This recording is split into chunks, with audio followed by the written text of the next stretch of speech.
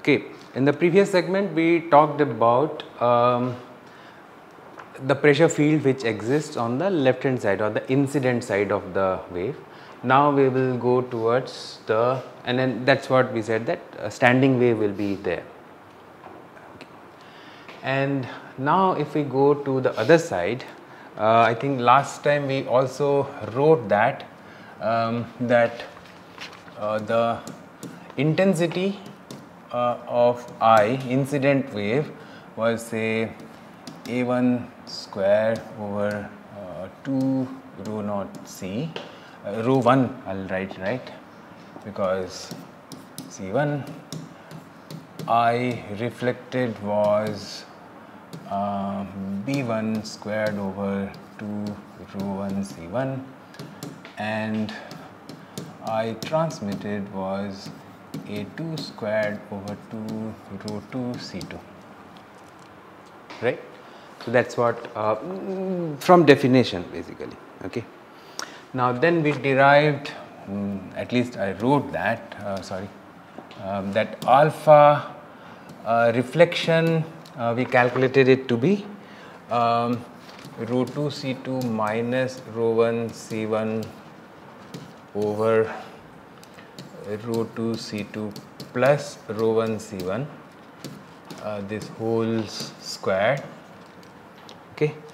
And yeah and then second thing which we I do not remember whether I had written that or not uh, did we calculate that? A2 will come out to be A1 times 2 rho 2 C2 over rho 2 C2 plus rho 1 C1 okay we wrote it like that.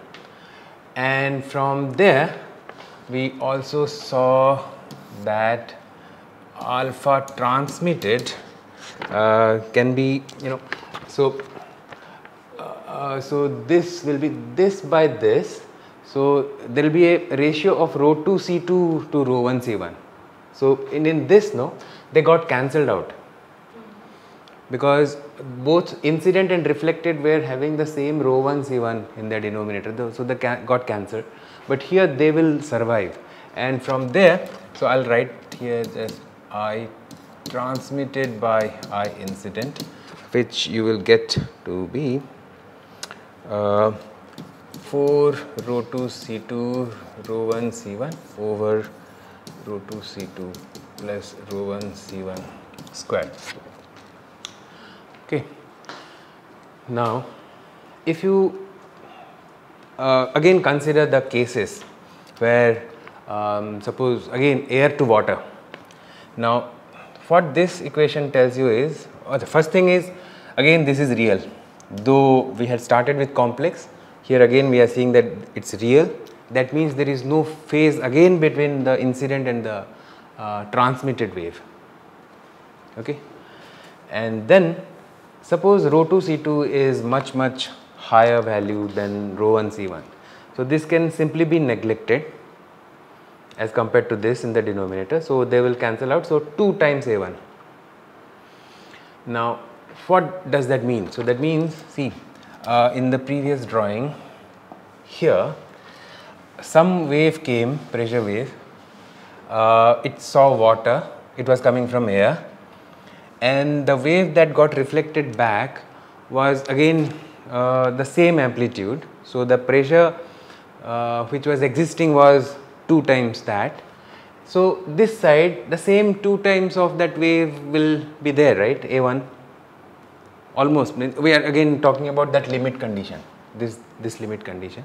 So, on this side this is the single wave. So, here these two waves together built it, but this side it is a single wave there is no other wave to build that. So, that will have its amplitude like that. So, there is no way out.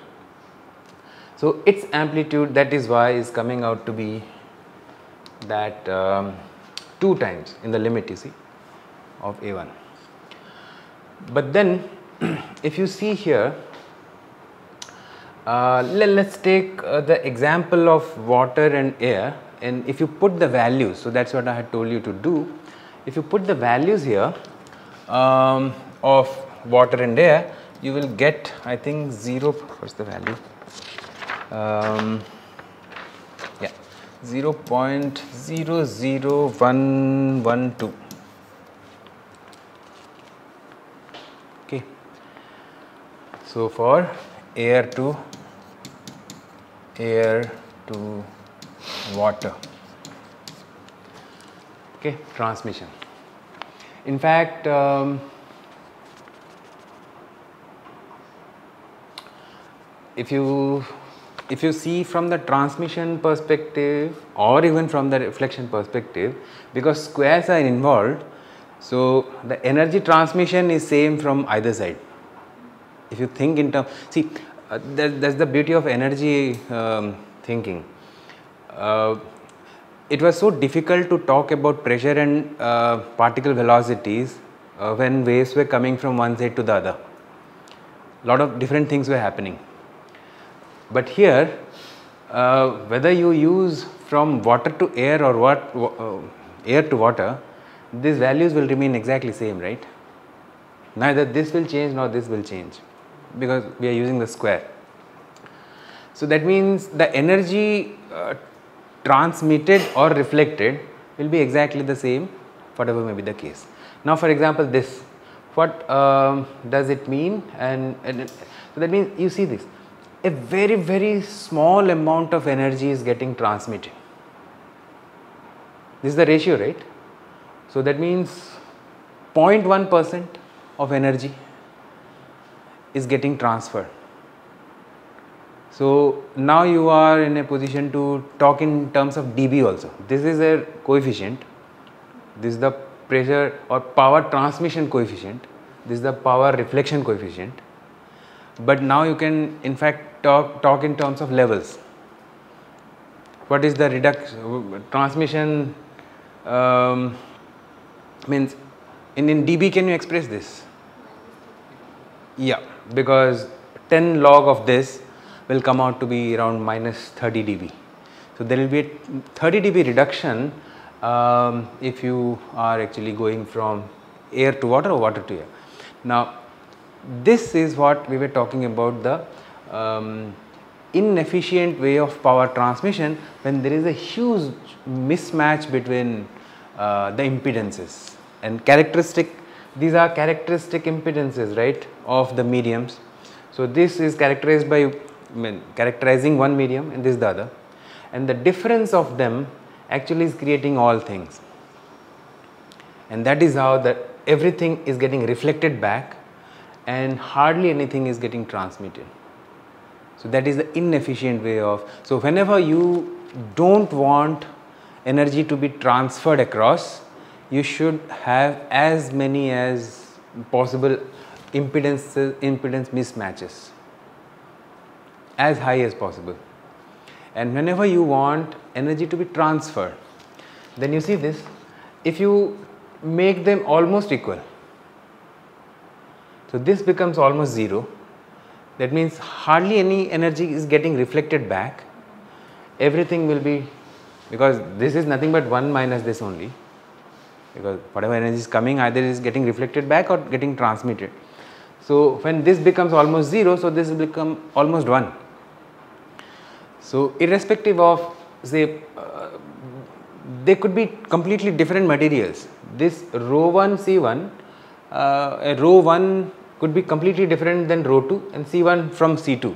But if the products are almost equal, okay, so they are two different things. If the products are almost of the equal uh, magnitude, you will get a transmission of uh, acoustic energy. Okay, and uh, yeah, so I was giving the example of uh, that um, ultrasound, right? when you put that um, gel. So that is actually doing some sort of thing. So for matching the impedances, the rho 1 C1 value, it tries to match uh, with that of the human um, flesh. So, so that maximum energy can be transferred from the ultrasonic transducer to the body. Okay. Hmm. So, this was about transmission and then this uh, point should be um, very clearly kept in mind that um, from either side it the situation is that bad and this this is called the um, acoustic reciprocity and this is a very general um, concept. That means if you have a source here and a receiver here so and then whatever is there in between okay doesn't matter. Uh, if you change their positions if you make the source you bring the source here and receiver here the effect will be exactly the same okay. So there is um, means whatever happens from this side that same thing will happen from this side and that's called the acoustic reciprocity. And and um, uh, there are some special uh, materials now people are developing called metamaterials which are violating this thing and and that topic is a very now very hot topic now. It's called acoustic diodes like in electric circuits diodes do what they they transfer energy from only from one side other side are blocked. So, they are trying to build such materials so that this acoustic reciprocity will not be valid. From this side energy will propagate, but if you just shift the other one, so from this side no energy will be propagated. So, those are called acoustic diodes for that. So, so they are not normal materials, so, so very specialized um, configurations are made to, to achieve such kind of uh, abilities in two materials. Okay. Otherwise this is the fact. Anything else i wanted to say about this? Yeah i think that's it uh, for this um, zone. That is the transmitted zone of the acoustic power. Okay we'll stop here for this segment